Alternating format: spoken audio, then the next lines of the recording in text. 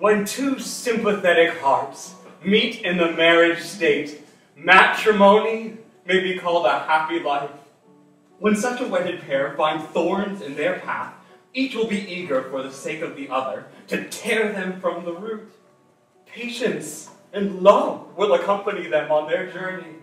Hand in hand, they pass on from morning till evening, through their summer's day, till the night of old age draws on, and the sleep of death overtakes the one. The other, weeping and mournful, still looks forward to that bright region where he will meet his still surviving partner among trees and flowers which themselves have planted, in fields of eternal verdure. You may tell my father I'll marry. Oh. This picture is pleasing, but I must beg you to consider that there's another on the same subject. When convenience and fair appearance, joined with folly and ill humor, forge the fetters of matrimony, they gall with their weight the married pair. This mutual aversion increases with the years they live together. They contend most where they should most unite, torment where they should most soothe. In this rugged way, they take their daily journey till one of them also sleeps in death.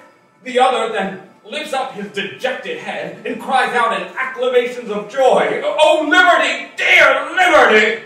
I will not marry. You mean to say you will not fall in love? Oh no, I am in love. Are in love. And with the Count. I wish I was. Why so? Because he perhaps would love me. Who is there that would not? Would you? I. I! I! Oh, I! Me! I'm out of the question. No, you are the very person to whom I put the question. What do you mean? I'm glad you don't understand me. I was afraid I'd spoken too plain. Understand you? As to that, I am not dull. I know you are not.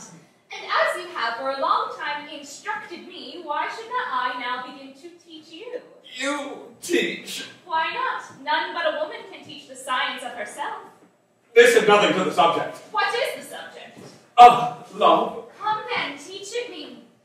Teach it me as you taught me geography, languages, and other important things. Oh, up. Oh, you won't. You've already taught me that, and you won't begin again. Oh, again, you misconceive and misconstrue everything I say or do. The subject I came upon was matrimony. Very proper subject from the man who has taught me love, and I accept the proposal. Again, you misconceive and confound me. I see how it is. You have no inclination to experience with me the good part of matrimony. No, you had rather cry out, Oh, liberty, dear liberty! Why must you force from me what it is villainous to own? I, I love you more than life. Oh.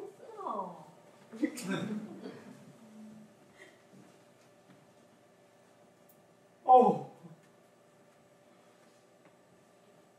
Amelia. Your birth and fortune make our union impossible. I would not marry you without the consent of your father. And could I, dare I propose it to him? He has commanded me never to disguise or conceal the truth. I will propose it to him. The subject of the Count will force me to speak plainly, and it will be the most opportune time to compare the merit of you both. I conjure you not to expose yourself or me to his resentment. It is my father's will that I should marry. It is my father's wish to see me happy. If then you love me, as you say, I will marry and will be happy, but only with you. I will tell him this.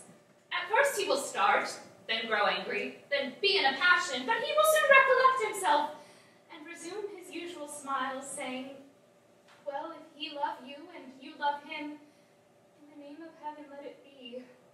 Then I will hug him round the neck and fly to you.